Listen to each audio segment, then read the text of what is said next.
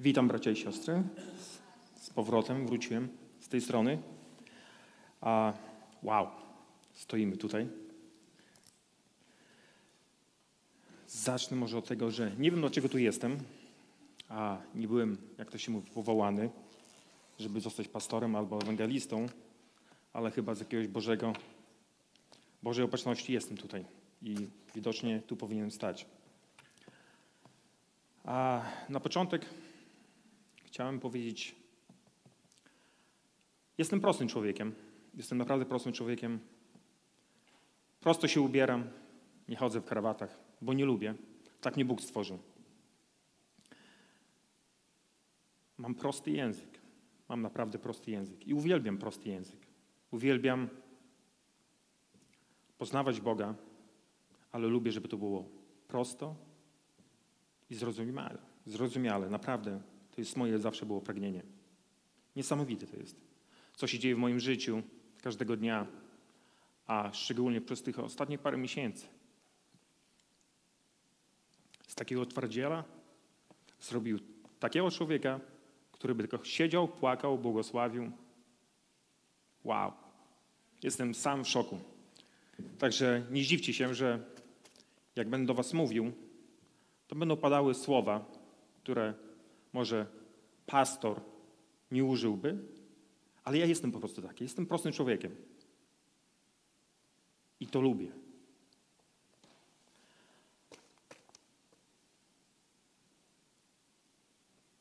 Było pytanie, co ja mam powiedzieć? Czy mam się podzielić, usłużyć? Mi się wydaje, że większość z Was mogłoby dla mnie uczyć, mogłoby mnie uczyć o Bogu. Także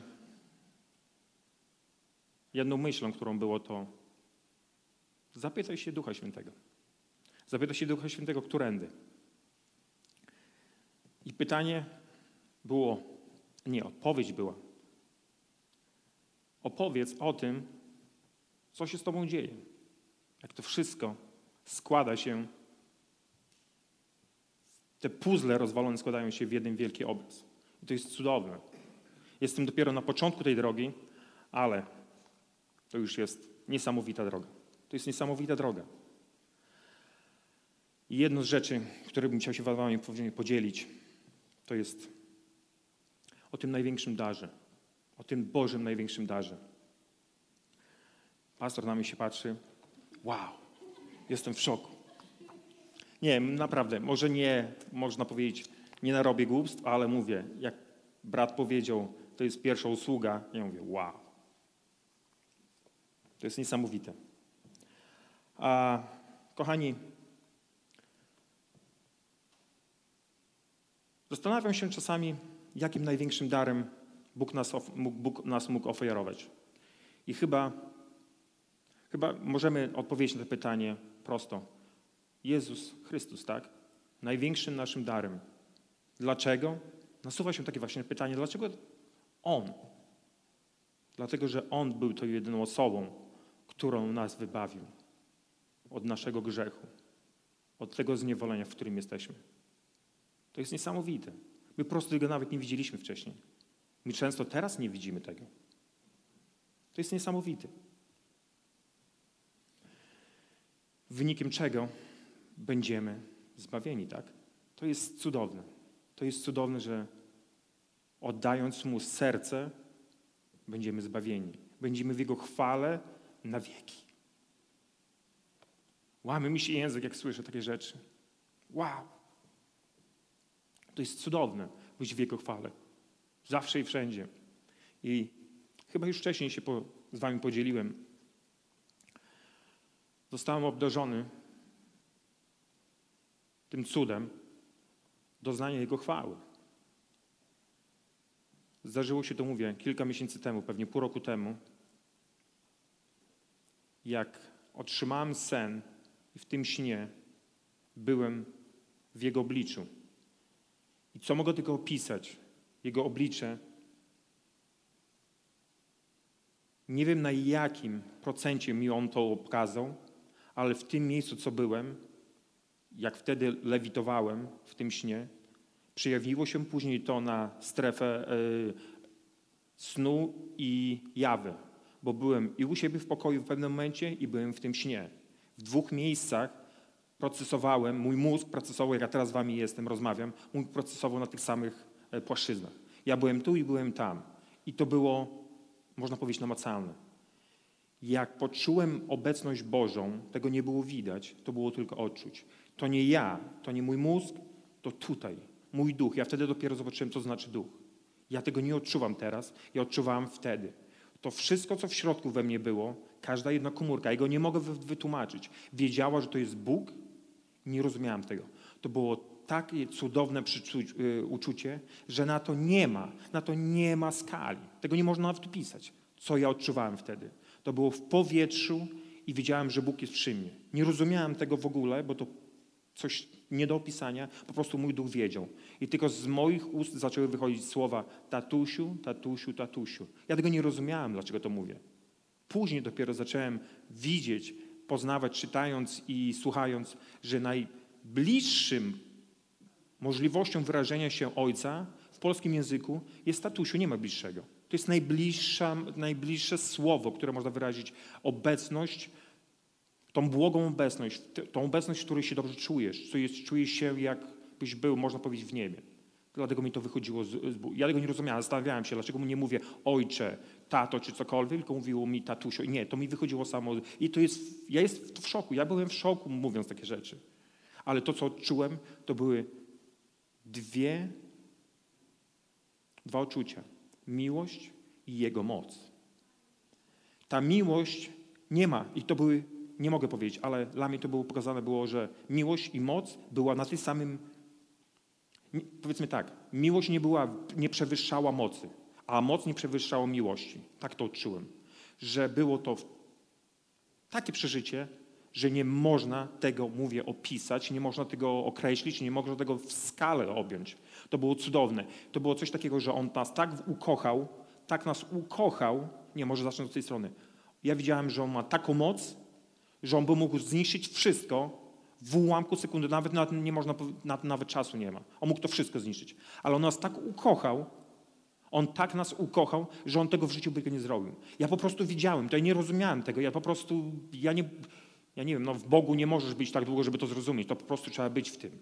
Twój duch wiedział to, ja to po prostu wiedziałem. Mi nikt tego nie pokazał, ja byłem tam i tylko była pustka i on, nic więcej. Ja tego nie widziałem, jak po prostu czułem. Wszystko, każdy molekuł tego w tym miejscu to był Bóg. Ja to widziałem. Na cokolwiek bym się nie patrzył, ja wiedziałem, że to jest Bóg.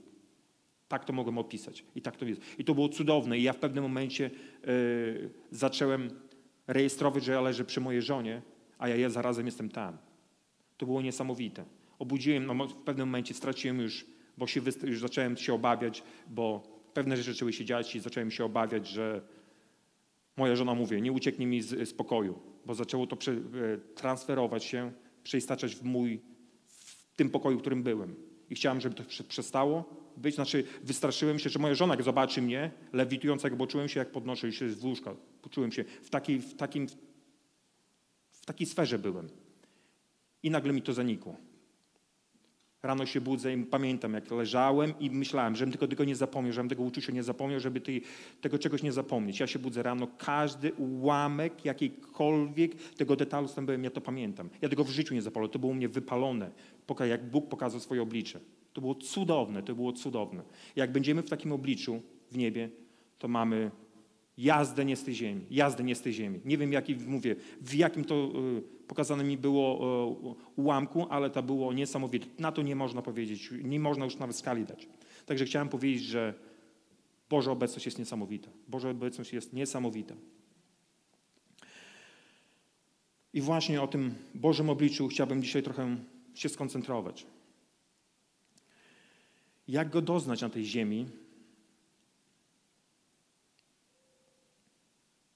jak go odnaleźć.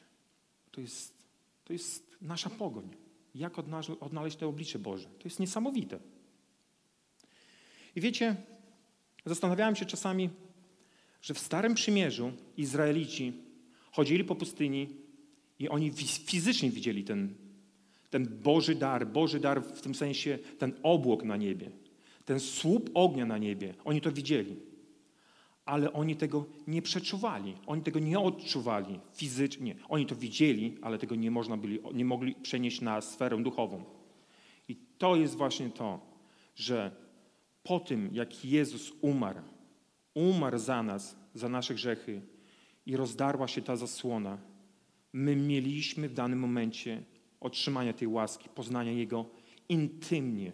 Intymnie. To jest cudowne, że Ty w środku wiesz, że Bóg istnieje. Ty w środku wiesz, że Bóg jest, że to, co się dzieje naokoło, to jest iluzją.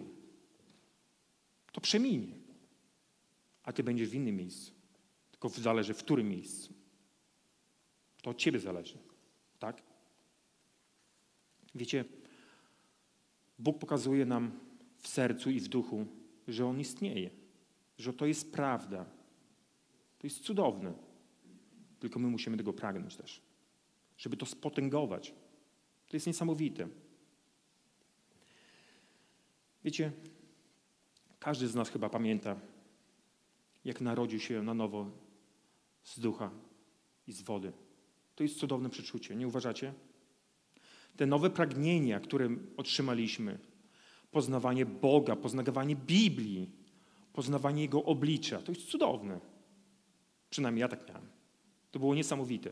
Ja dalej to odczuwam, dalej tym żyję i pragnę tego zgłębiać. Ja nie wiem, jak to jest, ale to jest we mnie. Ja nawet tego nie prosiłem, bo nawet nie miałem o co prosić. Nie wiedziałem nawet o co prosić, ale ja otrzymałem to. To błogosławieństwo, że Bóg istnieje, Bóg pokazuje nam, co można, co można otrzymać, jakie dary są. To jest cudowne. Wiecie, ale była pewna chwila, jak nawróciłem się, i były pewne osoby, które mi powiedziały: Radek, uważaj, uważaj, bo w pewnym momencie pustynia może cię złapać. I tak zastanawiałem się, o jakiej pustyni oni mówili. Ja mówię, ja widzę same pozytywne rzeczy, same pozytywne rzeczy, żadnych nie widzę negatywnych, tylko same pozytywne. Ja mówię, o jakiej pustyni oni mówią. Wystraszyłem się tego, może nie wystraszyłem się, ale to było, nie dało mi do myślenia, dużo do myślenia. O jakiej pustyni mówią, jak ja mogę zatracić tą obecność Bożą. Jak to można zatracić? Ja mówię, ja nie prosiłem o to, a ja to dostałem. Ja bym się musiał na jutro na, na nowo narodzić, nie, nie urodzić czy obudzić i nagle tego nie mieć w głowie. To samo nie wyjdzie z głowy. To jest wypalone w moim sercu. I wiecie co? Zacząłem poznawać ludzi, dostrzegać ludzi. Ja zacząłem dostrzegać ludzi tu i tam. Nie odbierzcie mi źle. Ja tylko mówię, że zacząłem dostrzegać ludzi, którzy są w Bogu przez jakiś okres czasu, 5, 10, 15 lat, whatever, nie, to nieważne. Zaczynam dostrzegać, że ci ludzie nie mają albo nie widać takich owoców, jak mi się wydaje, bo nie byłem w tym momencie, kiedy się nawracali, jak powinny być albo były na początku ich nawrócenia. Zastanawiałem się, dlaczego, co tu się dzieje, jakim tu je, gdzie w tym jest ten cały sęk, o co tu chodzi, dlaczego tak się dzieje. Przecież my powinniśmy brnąć do góry, jak orły.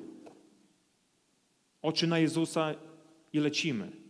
Tak powinno być. Nasza wiara powinna wzrastać a nie robić regres. Dlaczego? Nie ma, uważam, że nie ma nostalgii w, w naszym e, chrześcijaństwie. Bo albo idziesz do góry, albo idziesz do dołu. Idziesz równo, to nieświadomie spadasz w dół. Bo następnym razem, co, się, co będzie, to się obudzisz, jak to się mówi, w palce w nocniku. Dlaczego mam te problemy? Dlatego, że nie ma Boga przy tobie. Dlatego, że nie ma z Nim tej styczności, tego czegoś, jak wsadzisz dwa palce, to mm, doładowany dostaniesz. To jest właśnie to. I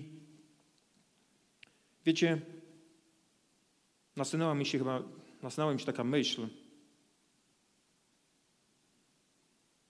że może oni nie mają, zatracili ten, tą styczność z Bogiem, tą relację z Bogiem, ale dlaczego?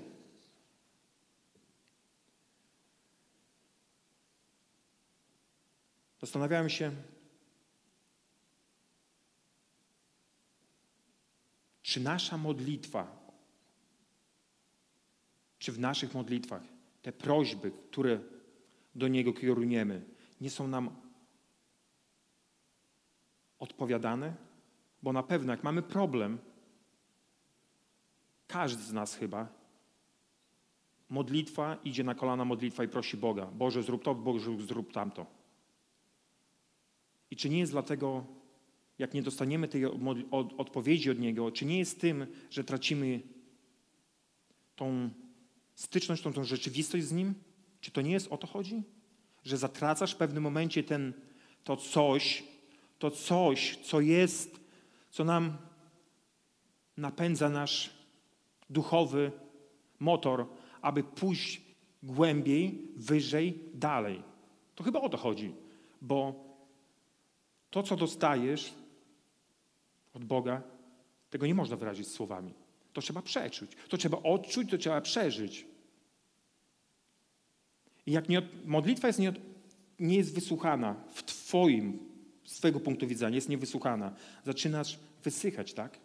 Zaczynasz wysychać. Twój zbiornik duchowy zostaje, być, zaczyna być pusty. No i co dalej? No i co dalej?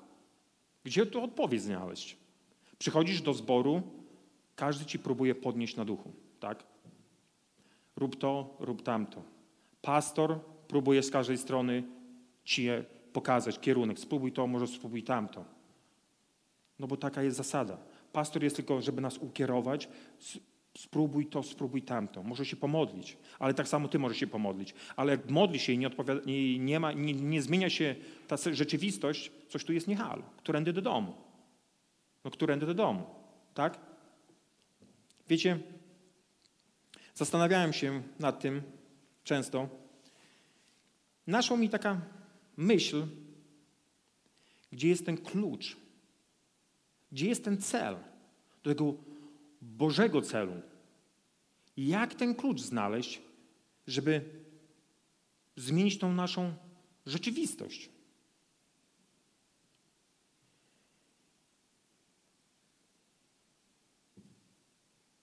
I nie wylądować na tej wspomnia wcześniej wspomnianej pustyni. Pustynia jest tragedią. Słuchajcie, był taki moment w moim życiu, pragnąłem niesamowicie Bożej obecności i to było niesamowite. Ale zarazem Obawiałem się tego właśnie, co miałem właśnie na, w głowie, z tyłu głowy, nie strać tego, żeby nie, nie wylądować tej, na tej tak zwanej pustyni, potocznie mówiąc. Ja mówię, jak to zrobić?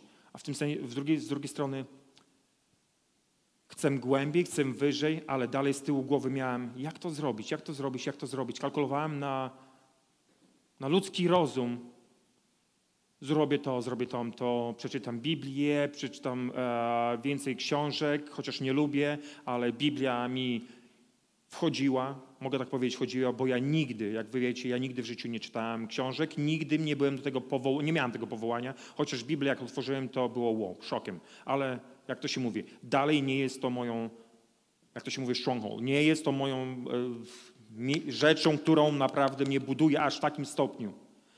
Chcę mi powiedzieć, co mnie buduje. Właśnie idę w tym kierunku. Była taka sytuacja, pewnie też wspominałem w, w pewnym momencie. Zajechałem do Pensylwanii. Byłem sam, usiadłem na krześle, słuchałem pewnego kazania po drodze jadąc tam. Siedzę na tym krześle. Nie wiem dlaczego ja, ale znów łup coś we mnie uderzyło. Nie fizycznie, to było duchowo. Nie wiedziałem, co zaczęło się dziać. Wiedziałem, że te przekazanie, które zaczyna, co leci, tak mnie zaczęło dotykać, ja już nawet nie wiedziałem, co to było. To było ziemia, kolana, głowa centralnie pod szafką, bo szafki u nas są w Pensylwanii pod, ponad, e, ponad ziemią, odsunięte. Głowa wylądowała u mnie pod szafką, Tylko dziękuję Bogu, błogosławię Go i nie rozumiem, co się dzieje, ale wiem, że Bóg jest przy mnie. Nie rozumiałem tego. To było pierwszy raz, co ze mną się coś takiego zdarzyło. Leżę, beczę, płaczę, yy, pokutuję, się wydaje, nie mam za co, tak? Jestem przy Bogu, pokutuję z każdej strony, wy, wyznaję grzechy na lewo i prawo, nie wiem, co się dzieje, ręce się trzęsą, nogi się trzęsą, ja mówię, wow, co się dzieje? Zajęło to mi, tak się wydaje, 45 minut. I widziałem tylko przekaz, który dostałem. Szukasz Boga? To poszukaj Jego, ale zagłęb się w Nim. Musisz się w Nim zagłębić. Mówiąc zagłębić, szukaj Jego, Jego obecności Bożej. Nie Pismem Świętym, gdzie to jest cudowne. Nie kazaniami, bo to też jest cudowne, ale naszym sercem. Szukaj Jego naszym, swoim sercem. Poproś Jego, poproś Jego. Nie wiem, mnie uderzyło jak grom z, nieba, z nieba, co mam zrobić. Nie rozumiem tego. Ja to dostałem, ja to widziałem, ja nie wiem. Ja nieraz pytałem się was na początku, co to, jak kiedy Duch Święty do ciebie mówi. Ja mówię, to ja usłyszę, to mi ktoś to powie. Jeden mówi tak, drugi tak. Ja mówię, koło myja. Nie wiem, jak w pralce, wrzucił wszystko do pralki, zamieszał wyrzucił. No i wybierz sobie. Bo raz powie tak, raz powie tak, raz powie tak. Do mnie przemówił właśnie w taki sposób. To było jeden z ewidentnych sposobów, ale to był jeden z najmocniejszych sposobów, bo to było w danym momencie, ja wstałem, ja się cały trzęsłem, to była godzina dziesiąta, ja byłem jak po całym dniu pracy. Ja się trząsłem całym, nie wiedziałem, co się stało. Ja widziałem, że Bóg był w tym domu. Ja mówię, jakim sposobem, nie wiem. Ja wiem, że widziałem, szukaj Jego Bożego oblicza. To, to mój był przekaz. I czekaj. Powiedział do mnie, czekaj. Ja widziałem, że On powiedział do mnie, czekaj. Nie rozumiem. To już był drugi raz, jak do mnie mówi, czekaj. I powiedział do mnie, szukasz mego oblicza? Zagłęb się w tym obliczu. To jest to, co ja mówię, co ja dostałem. Szukaj mojego oblicza. I powiem wam jedno, jedno, jedno, jedną rzecz. Zacząłem, można powiedzieć, bo to może nie powinno być tak brzmieć, zacząłem praktykować to, bo to jest złe słowo, ale ja to zacząłem robić. Zacząłem potocznego słowa w znaczeniu na kolana i do Boga. No bo co? No bo co dalej? Chcesz mego oblicza? zrób coś. I wiecie, ciężko było dla mnie, ciężko było dla mnie pójść, chociaż byłem w Bogu, modliłem się. Moja żona widziała mnie nieraz na kolanach, modlących się, jak to się mówi, rano, wieczorem e, w łóżku. Ale ja naprawdę nikogo nie krytykuję. Ja tylko mówię to, co mi się stało, co zadziałało w moim sercu, w moim życiu i chcę to dalej czynić dążyć w tym kierunku. To było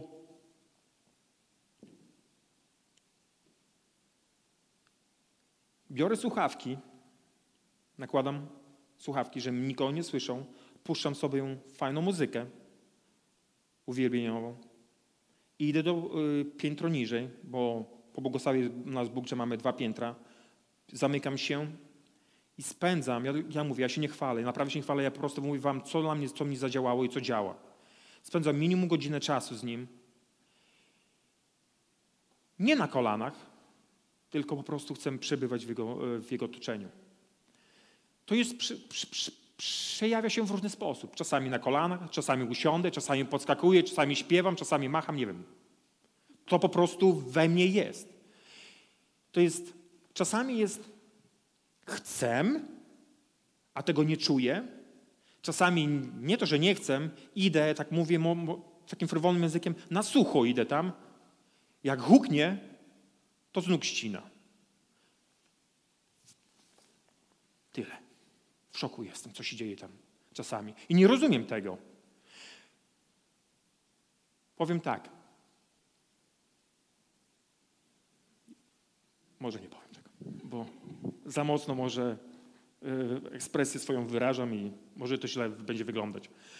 Jest cudownie. Jest cudownie, jest, to, jest, to jest niesamowite. To jest niesamowite, co się dzieje u mnie na przykład w, w sam na osobności z Bogiem. To jest cudo. A nauczyłem się, powiedzmy tak, nauczyłem się błogosławić ludzi.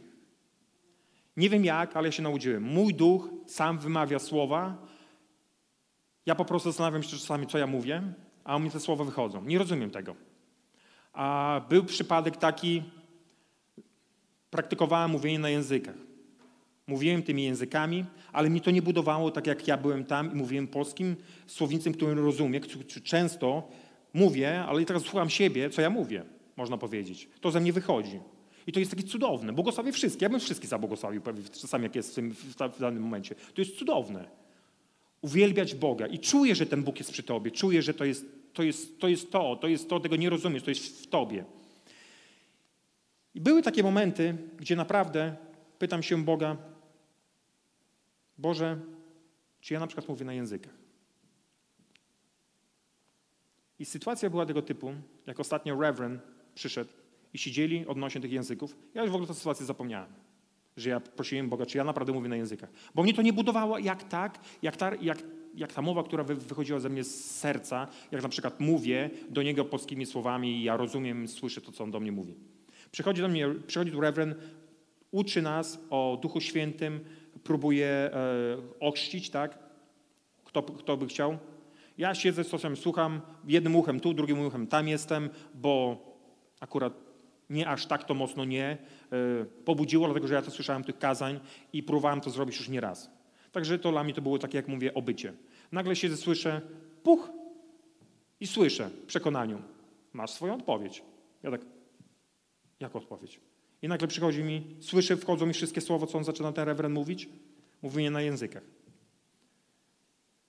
Minutę później, znaczy chwilę później po, po, po nabożeństwie, modlimy się o kogoś tam, wychodzi ze mnie te, te języki, bla, bla, bla, bablam. Bablam normalnie, leci, leci, leci, leci, leci. Takie potwierdzenia dostaje się. To ta modlitwa, to ta modlitwa, która, którą modlę się do naszego Ojca, to ta modlitwa mnie pobudza w takim stopniu, że rzeczy, które nie, że ja proszę, nie, rzeczy się dzieją po prostu. Nie rozumiem tego. Ja zapytam się, nie za każdym razem, ja nie, nie obierzcie mi źle, ale to odpowiada mi. To mi odpowiada w pewny sposób, którego ja nie rozumiem. To jak mówię, jak mówię. Czasami tu, czasami tam. Ja po prostu wiem, nie rozumiem tego. Nieraz się pytam i nic nie słyszę. Nieraz się pytam, dostaję tą odpowiedź. Nie dzisiaj, nie jutro, ale za... Nawet było tak, że na drugi dzień otrzymywałem pewne rzeczy. To było niesamowite, to jest niesamowite. Jak możesz znaleźć ten, ten przewód łączący Boga z Tobą. To jest cudowne, to jest cudowne. Dla mnie to zadziałało. I naprawdę chciałbym, chciałbym, żebyście spróbowali, żebyście spróbowali, bo moja modlitwa, może zobaczyliście czy nie, ale jak każde nabożeństwo jestem tutaj, może nie każde, ale prawie z każdego nabożeństwa. Jakbym nie zatrzymał tego, to byście tu musieli po mnie sprzątać. Tyle się ze mnie by wylało, z oczu, z nosa, zewsząd. Po prostu mi puszczają hamulce. To jest cudownego. To jest coś, czego nie można opisać. To jest stoisz i tylko błogosławisz. Ja tak błogos... wtedy w pewnym momencie ja tak błogosławię Kościół ten, was wszystkich. Proszę Boga, żeby to, co ja odczuwam, to żebyście wszyscy otrzymali tysiąc razy więcej. Bo to jest cudowne. Ty byś każdemu chciał to oddać. Bo ty wiesz, gdzie ty, w jakim miejscu ty jesteś. Słuchajcie, powiem wam taką sytuację.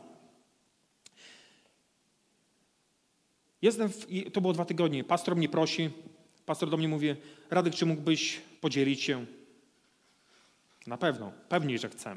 Ale tak z tyłu głowy, no ale co, ale czym? Tak? Podzielę się, oczywiście, chcę, poznaję Boga. Wiem, że nieraz mi odpowiedział i wiem jedną rzecz, że On mnie jak znalazł. Pamiętam, jak moja modlitwa była wtedy, prosiłem Boga, Boże, pokaż, czy jesteś.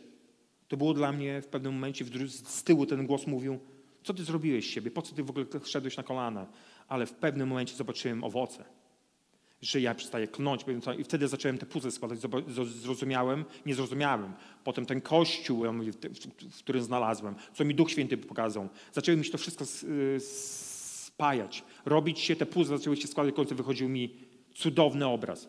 E, raz był moment taki, że jeszcze moja żona o tym nie wiedziała. Jechałem samochodem, wjeżdżałem na most i słyszałem kazanie, kazanie w kazaniu mówili zawołaj do Boga w danym momencie, a zobaczę, co będzie się działo. Ja mówię, no będę siedział, jechał w samochodzie, będę krzyczał do Boga. No to coś idiotę siebie robi. Przepraszam, tak mówię, ale taka była sytuacja. Ale zmusiłem sam siebie, żeby to zrobić. Słuchajcie, ja nie zdążyłem zjechać z, tego, z, z mostu, ja już krzyczałem do niej przez telefon, że Bóg istnieje. Ja wiedziałem, że przeciwko sobie ja muszę, przeciwko swojej woli, tego co mi z tyłu mówi, nie rób tego, bo zrobię siebie idiotę, że to naprawdę działa. Ostatnie momenty były takie w kościele. Przyszedłem tutaj, ja mówię, zaczynam płakać, tak łzy mi się naciskają, ale ja to mogę łatwo zahamować. Ja mogę po prostu, i nie będzie tego. I po prostu nie będzie tego. Ale mówię, nie, Boże, Ty mi pokazałeś tyle razy, ja mówię, tylko pokazuję takie, takie niektóre przykłady, ale Ty mi pokazałeś tyle razy, ja mówię, podniosę ja rękę do, do góry. Jak podniosłem rękę do góry, to tak jakbym dotknął nieba. Nie mówię, że coś odczułem, tylko tak poleciało mi z nosa, z buzi, z oczu, że ja tego już nie mogłem praktycznie zahamować. To było coś cudownego. Ja mówię, wow, ty musisz się temu poddać. Ja wiem o tym, ty musisz. I naprawdę czasami robimy pewne rzeczy, nie jesteśmy przekonani, naprawdę. Postawmy te kroki duchowe. Słuchajcie, jak było z apostołem Piotrem, jak on był w tej łódce, jak Jezus do niego przyszedł? Czy nie było tak, że przychodzi do niego Jezus, znaczy, przepraszam, stoi z Jezus w jakimś tam dystansie, oni go widzą, mówi do niego Jezus, uwierz, a wyjdziesz, a będziesz chodził. Uwierz tylko mi. Zrobił ten krok wiary, ten duchowy krok. Czy tam jest coś, czy nie? On nie patrzył, czy tam jest coś, czy nie. On wierzył Bogu. On wierzył Bogu. I on to zrobił, ten krok. I co się stało? Cuda na wianku. Gość chodzi po wodzie. No i on. Kto by tego nie chciał zobaczyć? Ja bym sam chciał chodzić po wodzie. Ale co się stało? Chwilę później zastanowił się, zastanowił się, a może i co było? Mało co się chłop nie utopił. Trzeba było interwencję z, z, z wysokości, żeby go się nie utopił. Bóg mu znów musiał go wyciągać z opresji. I tak, tak się z nami dzieje nieraz. My wpadamy w tę opresję, w te problemy, dlatego że nie mamy Boga przy sobie, tak blisko. My mamy zbawienie, ale ja nie chcę jechać na zbawienie. Ja naprawdę ja, ja chcę być, ja chcę niebo mieć u siebie w domu. I czuć się tutaj jak, jakbym był w niebie. To jest cudowne. Każdy by to chciał. Przynajmniej ja chcę. I, I powiem wam szczerze, w dużej mierze Bóg mi to okazuje. Okazuje niesamowicie. Słuchajcie, mam te kartki, przekładam kartki, ale nie wiem po co przekładam te kartki. Ja walę z, z, stąd. Wiecie co? Powiem wam tylko jedną rzecz. Półtora tygodnia temu jestem, modlę się, tak? Mówię, Boże, pastor mnie poprosił o usłużyć, to usłużę, tak? O czym? Nie wiem. Przychodzi do mnie myśl, zaufaj mi, a zobaczysz, jaka jazda będzie. Tak, no ale o czym miałem, no o czym ja mam mówić? I tak stoję, myślę, kalkuluję, no nie, no muszę coś przygotować. Czytam, słucham kazań na lewo i prawo, piszę, piszę, piszę. Nie wiem, o czym nawet mam pisać, bo ja nie jestem żadnym ewangelistą ani pastorem. No przecież ja jestem zwykłym gościem, który z boku ławki siedzi. I tak i że nawet nie chcę na swoją żonę patrzeć, bo ona już nawet źle na to patrzyła. Poświęcałem za dużo, powiedzmy tak, poświęcałem za dużo czasu na to. W jej oczach, a w moich oczach było za mało czasu. Potrzebowałem 48 godzin na 24, bo nie, nic mi nie przychodziło do głowy. Chciałem coś napisać, nie wiedziałem co. Coś spójnego, żeby to sklecić do kupy. Nie szło mi to, nie szło. Poskładałem coś, no nie więcej, no może tam, coś tam, coś tam jest. Dałem żonie, wczoraj przeczytałem to, zastanawiała się, a co, a jak, a gdzie? Ja mówię, oho, tak będzie tak, to będzie klapa i to głęboka. I tak w przekonaniu ducha mówię, będzie dobrze. No musi być dobrze, no przecież Bóg mi odpowiada, no to jak? No to przecież ja tutaj stoję, żeby, żeby Jego królestwo budować, a nie moje. Bo ja nie chcę tego. Ja chcę tylko Jego obecności i to wszystko. Ale jak On mi taką posługę daje, odpowiadam na to. I chcę odpowiedzieć. W, trafię, to trafię, nie trafię, to nie trafię. Bóg dalej jest ze mną. To jest cały, jesteśmy na wygranej pozycji. Najwyżej mi pastor więcej nie pozwoli podejść do mikrofonu. I to, tyle się skończy. Nie nakrzyczy, nie pobije. Ja mówię, okej, okay, no to przychodzę tutaj, nabożeństwo zaczyna się, dwa słowa, leci. Ja mówię, no szkurczę. Ja myślę, co tu za chwilę mam powiedzieć, a nie mi tu z oczu zaczyna lecieć. Ja mówię, kurde, i mam młynek w głowie, mam młynek w głowie, co mam powiedzieć. I mam napisane tutaj, w ogóle co innego mam napisane. Poniekąd zacząłem, skończyłem już w ogóle gdzie indziej. Poniekąd zacząłem i mówię, jesteśmy, modlimy się, ja w duchu, a nie słowami, bo już mi słowa, słowa na mnie nie wychodzą, tylko w duchu łzy lecą i robię to, co robię. To, co mi duch mówi, to robię, poddaję się jemu i to jest niesamowite. I co wyszło? Wyszło źle? Mi się wydaje, że jest budująco. Także słuchajcie, czy mógłbym się pomodlić razem z wami o, tą, o to coś, o czym, czego nie można wyrazić, tylko to trzeba odczuć? Każdy chyba wie, co to jest.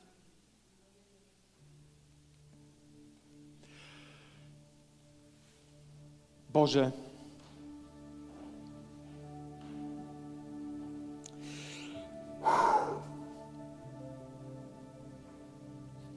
Nie wiem, kto wyrazić tymi słowami. Na to nie ma słów, Boże. Ty jesteś, Ty jesteś, Ty jesteś obecnością, obecnością, której powinniśmy szukać, pragnąć, doznawać. Ojcze, bądź przy nas, trwaj przy nas, nauczaj nas, otwieraj te, te drzwi, abyśmy mogli wejść, mogli usłyszeć Ciebie, Boże, abyś Ty, Ojcze Święty, był obecny w naszym życiu zawsze i wszędzie. Abyśmy Cię słyszeli, Ojcze. Abyśmy Cię słyszeli, Jezu. Poślij, poślij Ducha Świętego, aby On zamieszkał w naszych sercach. Każdej chwili naszego życia, aby On przypominał nam o rzeczach, któreśmy powinniśmy, a zarazem nie powinniśmy wiedzieć robić. Panie, bądź naszym pocieszycielem, bądź naszym Bogiem. Kieruj nas, prowadź nas i pozwól się poznawać. Ojcze, błogosławię Cię. Błogosławię do każdej jednej osoby na tym miejscu. Błogosławię ten Kościół, abyś Ty, Boże, budował, budował nasze nasze serce. Serce, które pragnie Cię poznać, doznać. Boże, jesteś wielkim Bogiem. Dziękuję Ci z całego serca.